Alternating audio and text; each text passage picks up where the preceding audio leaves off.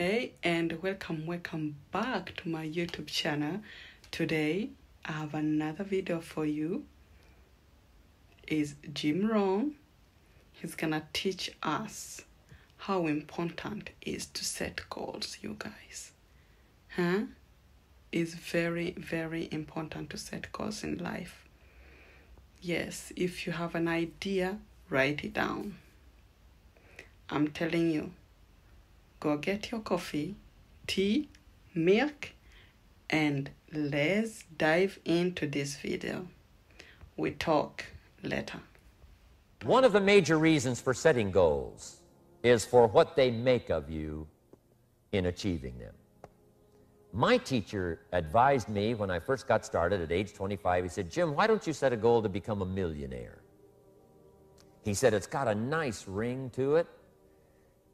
You know, enough zeros to impress your accountant. And he said, I'm here to help you. You're only 25 years old. You've been to one year of college. You've got a beautiful family, every reason to do it. Why don't you set a goal to become a millionaire? And he said, Here's why. And I thought, he doesn't need to teach me why. Wouldn't it be nice to have a million dollars? He said, No, then you'll miss it. He said, Here's why. For what it will make of you to achieve it. I'm telling you, that statement changed my life. Set the kind of goals that will make something of you to achieve them. He said, Now, once you become a millionaire, what's important is not the money. I thought, that's kind of strange teaching. He said, Honest, it isn't important. He said, You could just give the money away. Now, I did better than that. I lost it all. By the time I was 31, I was a millionaire. By the time I was 33, I was broke. But when I lost all my money, guess what? I found out Mr. Shoaff was right. What was valuable was not the money. What was valuable was what I became to earn the money. The skills I had, the knowledge I had about the marketplace, the values that I had going for me. They were more valuable than the money. And here's an important statement to remember. It's not what you get that makes you valuable. It's what you become. So part of the key here is to set the kind of goals that will make something of you. Don't set them too low so that you don't have to grow and you don't have to read and you don't have to try and you don't have to stretch. Don't set them too low. And then don't sell out. Don't go for something that's going to cost you your virtue or cost you your values or sell out your principles. There's a good middle road here to follow. Goals that will inspire, Goals that'll help you grow, change, develop, and become better than you are. Set some challenging goals. Don't wish it was easier. Wish you were better. Don't wish for less problems. Wish for more skills. Set some goals that'll make you stretch. Become more than you ever thought you could become. Not only business goals, set some personal goals. You know, who do you want to become? And set some goals for your family. They're depending on you to help set their goals. They can think of some things, but you've got to fill in all the rest about what's important for family, for future. So take on that responsibility of setting family goals, personal goals. If you're married, it's goals for your marriage. If it's friendship, it's goals for your friendship. Here's the deal reasons make the difference in how your life works out. When I first met my mentor, I'm 25 years old. He said, Mr. Rohn, I think you've got enough desire. I think you certainly have enough ambition. You're certainly willing enough. Probably what you need now is enough reasons to change your life. And if you have strong enough reasons, you'll get up a little earlier and stay up a little later. Listen a little more carefully if you have enough reasons. So I'm asking you, while you're here, spend some time on that. And especially when you get home, find some time to get away you and your husband, you and your wife, get away, set those goals, get together with the family, set some more goals, get together with your organization when you get back, set those goals. Achievement means moving forward. And in order to move forward, you must be motivated, inspired, ambitious. You must have dreams and goals that create ambition, good ambition, positive ambition. Now, ambition does not mean being greedy. It does not mean being selfish. It does not mean getting ahead at the expense of others. Ambition is not greed. Ambition is not avarice, an all consuming desire for wealth. Ambition is not hoping you can win at the expense of others. Ambition is not greed. Ambition is an eager desire to achieve, an eager desire to get ahead in life, to do more for your family, to prosper in health, wealth, and relationships. Now, desire does not always translate into ambition. Desire is what you want for yourself a bigger house, a better car, a fatter bank account, a better life. I desire to have these things. Ambition is how you get there. Desire is sometimes healthy, desire is sometimes unhealthy. Desire might say, I want the tallest building in town. The destructive side of desire might urge you to tear all of the other buildings down. I guess that's one way to do it. You might get away with tearing down the first one and maybe the second one. But in your desire to tear them all down, sooner or later, some guy is going to be standing out in front of his building saying, I'm on to you. Get out of here. And pretty soon you're no longer known as a builder. You're known as a destroyer. Now, the second way to have the tallest building in town is to see it, dream it, and plan it, and put your team on it, work on it. Go through all of the steps to get there. Do it right. Have the ambition to be the owner of the tallest building in town. And go through all of the right steps to get there. If you really want it and have the skills to do it, and the patience to weather all of the storms, your ambition will lead you there. Having the ambition to do what it takes to get you where you want to go is good. Ambition is creative and constructive. Ambition is an expression. It's something inside of you you want to express in a positive way. I'm sure you have dreams of accomplishing great things. Are you ambitious enough to realize these dreams? Are your dreams strong enough to pull you toward your future? Are they vivid enough to see the end result now? Are they worthy of doing until you get there? What are your reasons for creating these dreams? Reasons vary from person to person. The list of reasons. Why is it so important to achieve these dreams? What are you trying to express? These reasons for accomplishing great things are different for everybody.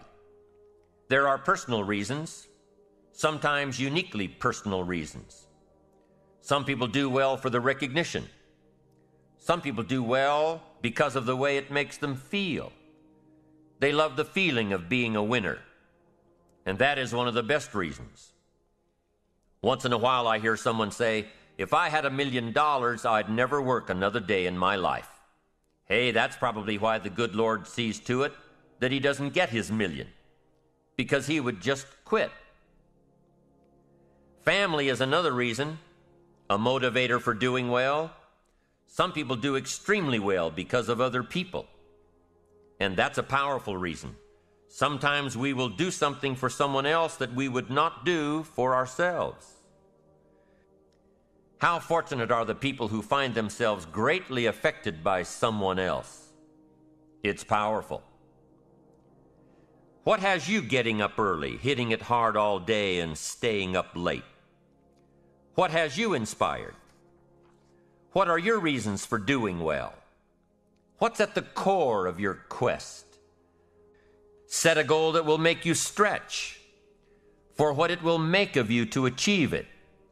What a brand new reason for setting goals. What an all encompassing challenge to have a better vision of the future, to see what it will make of you to achieve it.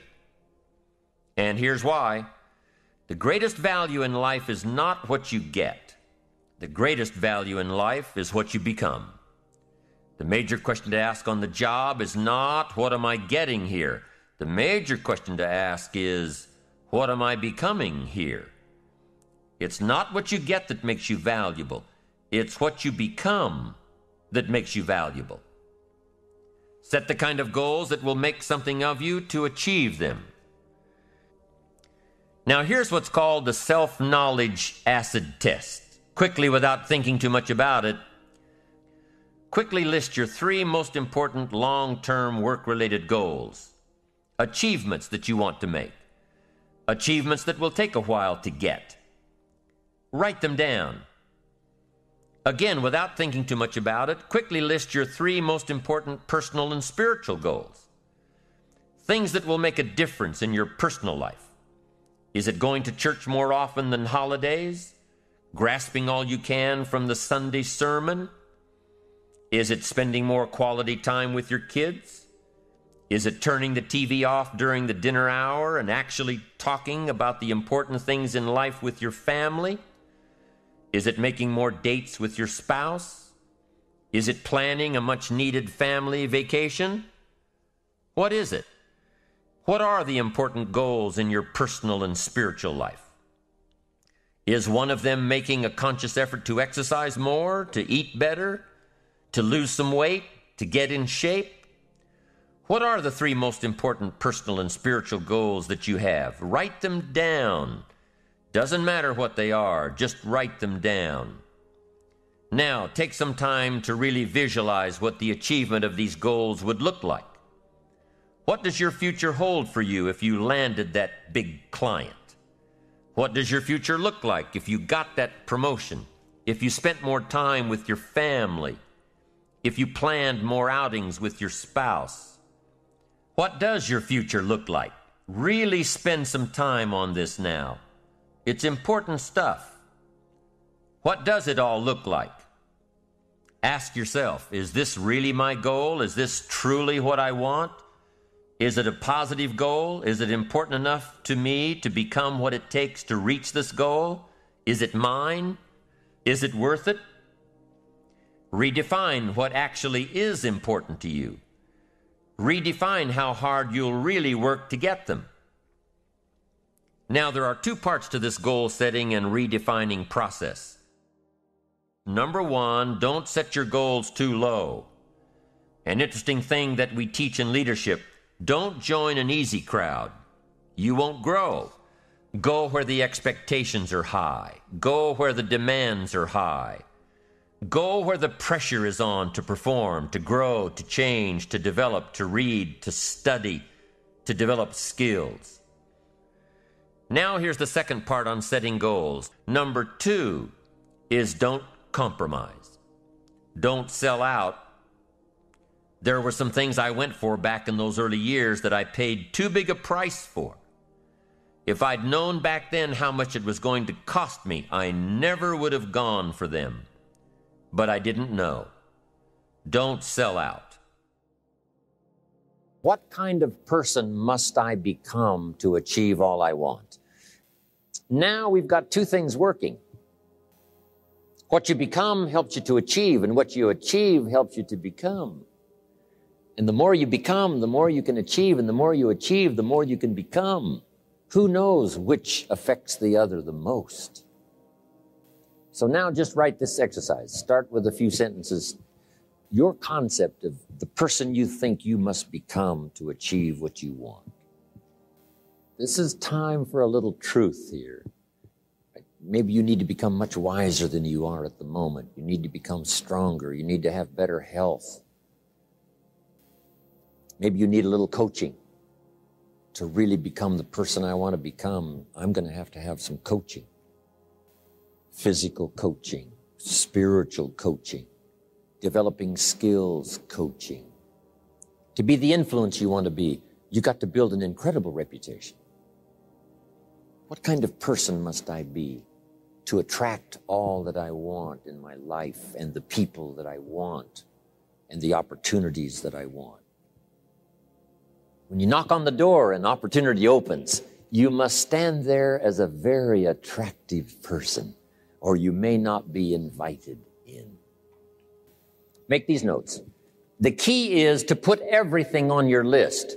Now, the key is to take it out of your head and put it on paper. You know, you can dream about what you want, but when you start committing it to paper, now it more formalizes. Information now starts to make a composite of an idea. And ideas can turn into hotels. Ideas can turn into enterprises. Ideas can turn into a fabulous career. We need the information. We need the stimulation. Now, Jot this down. It's very important if something's not that important to you to take it off your list. You don't have to accomplish this whole list. But if you had 100 items on your list and you accomplished 80, who cares about the other 20? If you got the biggest share of what you went for, wouldn't that be enough? And the answer is probably yes, it'd be overwhelming. Okay. So you can rearrange this list. You can change it. You can tear it up and start over. You can say, oh, you know, last year I thought this was so important. That, that's not important to me anymore. The things I've learned in the last 12 months, I've changed my whole goal list. I thought this was so it. Now here's the next note. There's two great words of antiquity everybody should learn. Here they are. One's positive and one's negative. Here's the positive word from antiquity. Behold. That's the positive word. Behold the possibilities, behold the opportunity, behold the future and give it design. Behold and look at the chances you've got. Behold, spring has come. Behold, the day has arrived. And the sun is shining and the shadows are fleeing away. Behold, the next person you can meet might be your friend for life. Behold, the next person might be a colleague forever. Behold, that's the positive word, behold. Now, here's the negative word beware. Now I want to give you a sentence to jot down that's very valuable. Here's what it is. Beware of what you become in pursuit of what you want. Beware. All of our lives, we have to deal with behold and beware. When a kid goes to school, it's behold the opportunity and beware the dangers. Behold and beware. So beware of what you become, pursuing what you want. Some things I went for in the very beginning cost me too much. I got so obsessed with some things that I found out later the price was too big to pay. If I would have known better, I never would have paid. But sometimes we learn when? After.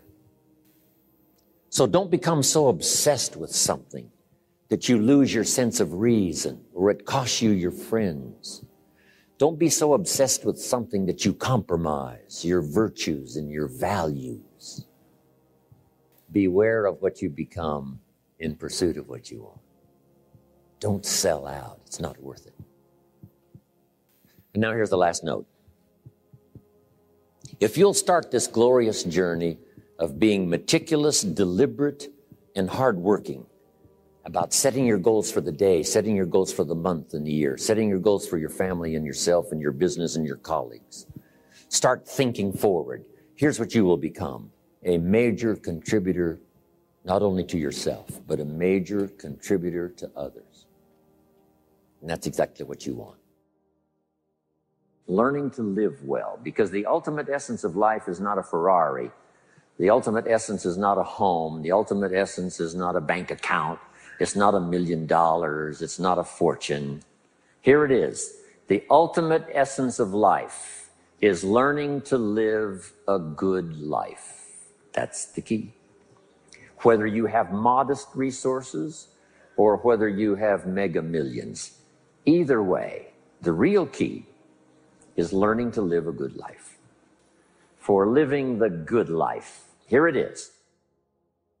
Productivity you really won't be that happy if you don't produce. And here's the next bit of advice on that. Produce to the max if you possibly can. To produce a little is okay. To produce enough is okay. To produce some to get by is all right. But why not try productivity to the max? Andrew Carnegie, who built the steel industry back in the 30s, here's what Andrew said. I'm going to spend the first half of my life accumulating money. I'm going to spend the last half of my life giving it all away. He got so inspired by that goal that the first half of his life he accumulated $400 million, which back in the 30s was a lot of money. A mega fortune. Guess what he did the last half of his life? He gave it all away. I got a good question for, for you as we close. Here's the question What's got you turned on? What's got you up early?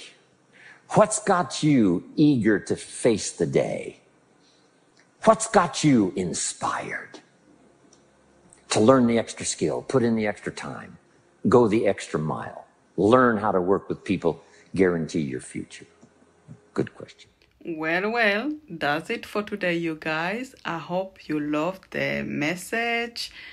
It brought you some value. So, if you did like it, please hit the like button, subscribe to my channel, and share with your friend and family. We talk. Bye.